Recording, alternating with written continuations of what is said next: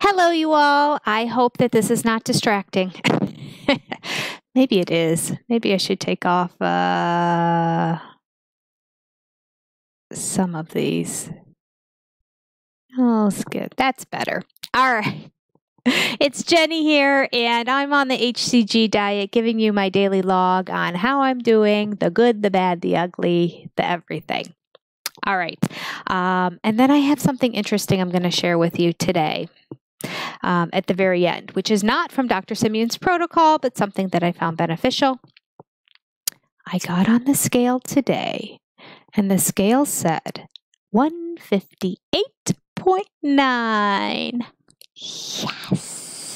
I tell you, my weight is like, we've already discussed how that happened. So um, I'm just really happy. Let me tell you, last night when I finished teaching my classes, my stomach felt like I could literally feeling it like shrinking. It was like so tight in that, but it it didn't really feel like hunger. It like literally felt like I did a bunch of crunches or something like that. Um, and my stomach wasn't growling or anything like that. And then I took my drops afterwards, and then that that sensation went away, and I went to bed. Now I woke up this morning. It's interesting when I wake up in the mornings, I never feel like really as thin as I do like when I go to bed. So there's something with the HCG hormone, maybe like satisfying you or whatever it does to be the appetite suppressant that kind of makes me like nervous to get on the scale. I was nervous to get on the scale because I thought I ate really well yesterday and I really felt before I went to bed that like, oh, things are happening. I can feel like I'm losing weight. And I didn't go on the treadmill yesterday because I did feel a little bit more lethargic than I normally do. And that's usually a sign that my body's burning a lot of calories um, and it's using up the energy in my fat uh, reserve. So, um, although I hauled big boxes full of paper and scrapbooks from my basement all the way up two flights of stairs, about five of those boxes, and then a few other boxes onto the first floor. So I was moving, I definitely, not even about five, I definitely did five boxes upstairs, if not more. Um, so, uh, I mean, the one time, by the time I was just I was going with every step I was taking because it was so heavy and I was so like fatigued kind of. Um, but I'm like, I'm going to get all the way upstairs. I'm going to make it all the way up to the top of the step. I needed all this product to do a bunch of stuff to prepare for my weekend retreat. I needed to organize it, get it in boxes, figure out what I had, what I'm taking, what I'm not, and I it's just easier for me to do it on the second floor because that's anyway. It, I don't need to know why. Nevertheless, I did some exercise, even though I didn't get on the treadmill. It'll be interesting to see how today goes. I got up at 4:30 yesterday morning. I taught my classes. I dove right into working on my scrapbooking retreat and I did it literally all the way up until 7:30 at night when I uh, started my classes again until 9 and then went to bed. Got up again this morning at 5:30. Uh, well, I got to bed by 10. I finished classes at 9. I got to sleep by 10. And uh, 4.30 I was up and I did it again today. This is this will be going on the fourth day that I don't take my one hour power nap in the middle of the day, which is hard for me because I need nine hours of sleep. Oh, and I'm not going to get nine hours over the course of the weekend. So I need to figure it out. I need to figure out what's going on. Um, I need to get my life together and get some sleep. So, just a lot of things to do. What can you do? You have 80 women coming for three days at a hotel, and I have to care to all their needs and, and make sure that it's a wonderful event, not just that they're there and that they have their basic needs met. So, it's just a lot. All right, that's okay. It's my job. It's fine. So 158.9 is what the scale said. Halle, hallelujah. So that was a loss of 1.3 pounds, um, which made me happy because two days ago, after my five day stall, essentially I lost 1.3, gained 0.3 back, but then lost 1.3 again. Mm-hmm, mm-hmm.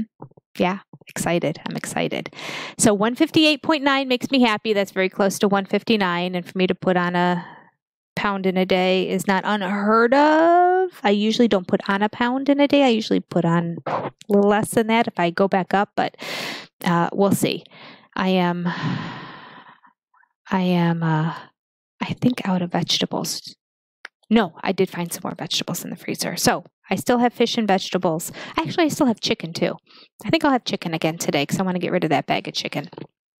Um, and uh, I just have a lot of errands to run. I got to go out and run a bunch of errands today. Tons of things to do. I hope it's not another day where I'm working from five in the morning until nine o'clock at night again, but it may be. What can you do? All right, so happy, happy, happy about how the numbers are looking. Happy that I stuck with it. Happy that I didn't give up. Um, and things are resolving with my retreat. A lot of the issues and stressors that were happening were all occurring at the time that my weight stalled. And so I thought that I had some cortisol issues going on uh, with my weight stall. I have these little passages that I read every day, little motivational things to kind of pump me up and get me going on the day. This is the 150 most important Bible verses, it says. All right. It's, read, it's written very simply and it's very interesting. The book is divided into uh, categories for men, for women, for teens. I don't know what the other one is because I haven't gotten to it. So anyway, I've read. Oh, I've read for everyone the verses for everyone. I mean, every verse is for everyone, but they kind of you know broke them up and thought these are some. Um, so I did the the everyone, the men, the women, and I'm in the teen section right now, which is interesting. I end up like screenshotting a lot of these pages and sending them to my kids, even though my older daughters are in their 20s now. Um, almost.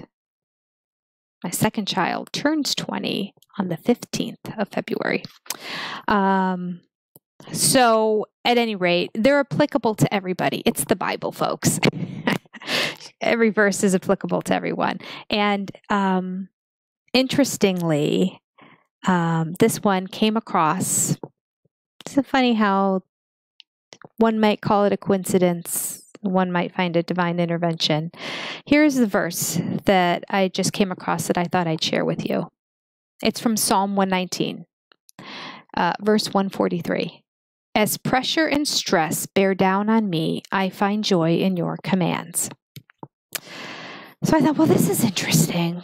Um, so I'm just going to read briefly this little bit. It's very short, but if it benefits anybody, and helps them in their life. If there's anybody who's stressed out there and goes through something and just needs something to read or to hear to kind of give them peace, I don't know. This just gave my soul some peace when I read it. So I thought I'd read it to you. Um, now, this is not from the Bible anymore. This is the author's kind of interpretation of the verse, if you will, or life application part of it. Um, and this is what it says From stress to joy. When pressure and stress of life are building, joy is a welcome find. Few people like to be told what to do. And yet, when God asks you to do something, it's different. It's different because God asks you to do the things that will make your life easier and more enjoyable in the long run. His requests are based on his deep love and true concern for your life. When Jesus was asked what the greatest commandment was, he replied that people should first love God and then love others. A practical example of how God's commands can bring you joy is found as you focus each day on loving God and loving others. Something happens when you turn the focus away from yourself um, away from yourself. By turning the focus on others, you spend less time stressing about yourself. Plus, it simply feels good to love on and help other people. God's instructions are a loving plan for a successful and enjoyable life. God knows the challenges that you face. God asks you to love others as you would love yourself. He asks you to be honest and respectful. God wants you to put Him first in your life. By following His directions, you will avoid and eliminate problems and confusion in your life. God's commands are a guide to living a fabulous life. Living on your own strength is a good way to get worn down. Embrace God's plan for your life and live in the joy that it brings. Isn't that nice? That's just really nice.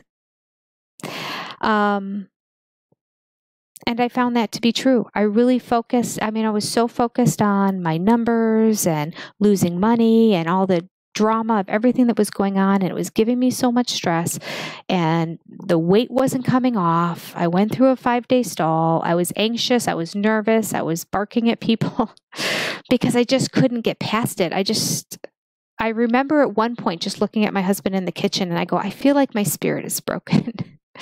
and I don't know why. And then I just went back to I'm not going to worry about this. I'm going to focus and do what I do. Let the chips fall where they may. I will earn what I earn. It will be what it will be. My goal and my focus is to make this the best event possible for as many women as I have, um, as I can possibly get into the event.